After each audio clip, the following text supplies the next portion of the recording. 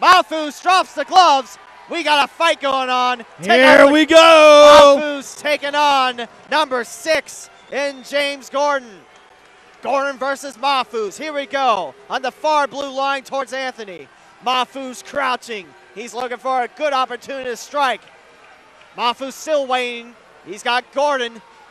Mahfouz still skating around looking for that perfect opportunity to strike. Ring the bell. Mahfouz versus Gordon here, right near center ice. Gordon flinching his left hand a little bit. Mahfouz grabs with his left, and Mahfouz takes Gordon down. A right-handed punch to the head of Gordon. Oh, yeah. Mahfouz taking it out on Gordon. Gordon fighting for his hockey life, and Beaufort down, and the Zebras step in. Mahfouz still having a couple of fists at Gordon's skull. Mahfouz There we go. Mahfouz pumping his arms up. Get these fans up out of their seats. Ahmed Mahfouz takes down Gordon.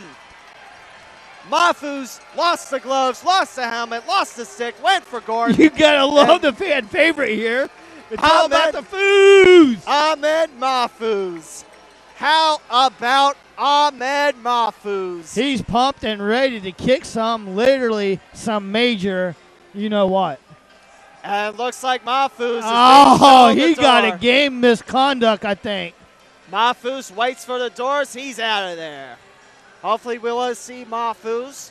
And no, that's not a homer statement either, folks. Because I tell you, Mahfouz's style of play is fun to watch. I think he got a game misconduct. That's going to be.